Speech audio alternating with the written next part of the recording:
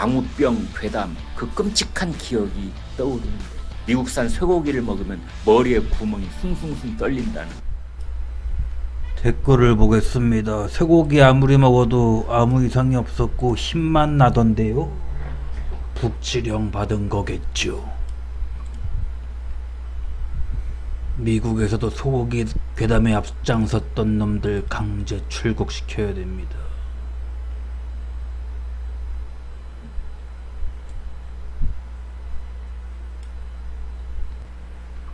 조선일보 출신 김광일 기자는 강진 여고생 피살 사건과 관련해 피해자를 모욕하는 발언, 장애인 비하 폭언으로 하차.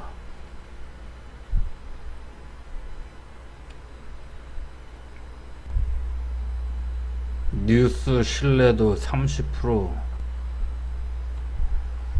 허위 보도는 한 만 건 보내고 정정기사 하나 내보내니 저렇게 오해하는 사람이 있다.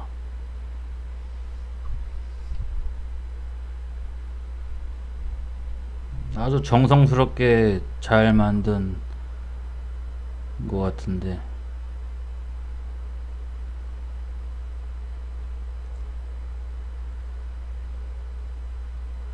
이제는 조금씩 아는 겁니다. 사람들이. 진짜 이번에 발병이 되었고 2021년도 22년도에도 영국, 캐나다에서도 발병을 했어요. 이번에 미국에서도 또 발견이 됐고 근데 이거 완전히 광우병이다. 광우병은 광우뻥이다 라고 자꾸 이거를 만드는 사람이 있다는 얘기지. 괴담이라는 게.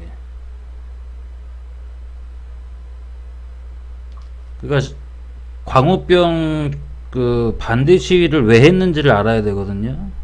그리고 시위를 했잖아. 시위를 한 다음에 뭐가 바뀌었고, 그리고 우리가 왜뭐 지금 이렇게 먹고 있는 것들이 미국산이 싸잖아 지금 맛있어 나도 먹고.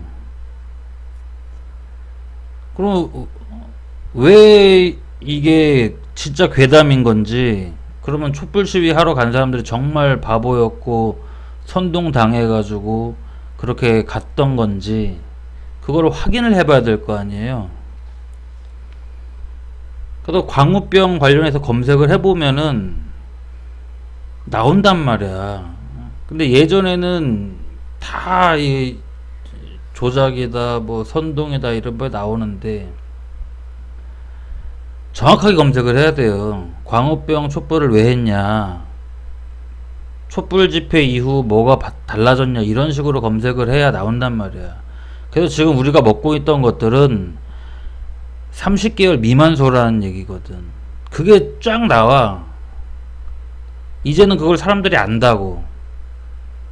근데 30개월 이상 소에서 많이 발, 그 발견된다고 하는 게 광우병인데, 그거를 뭐 남의 나라 몇 군데인지는 모르겠지만 어지간한 나라에서는 다 반대를 했대요. 근데 우리나라만 다 받겠다고 하니까 소문으로는 술 원샷하고 뭐, 뭐 그냥 오케이 사인을 했네 뭐 그런 말이 나오는 거고 지금 후쿠시마 오염수 같은 경우도 같은 맥락으로 보는 것 같아요.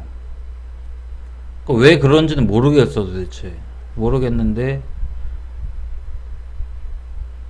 지금도 광우 뻥이다 선동이다 라고 이렇게 지금 방송을 하잖아 조선일보나 TV조선 그리고 정치인들 저렇게 얘기하는 거 보면은 자꾸 속으니까 계속 하는 거야. 속으니까.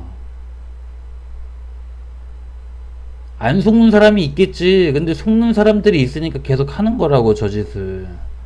그래서 우리가 저 사람들이 간첩이 아닌 이상은 우리나라 사람들한테 이익이 되는 거를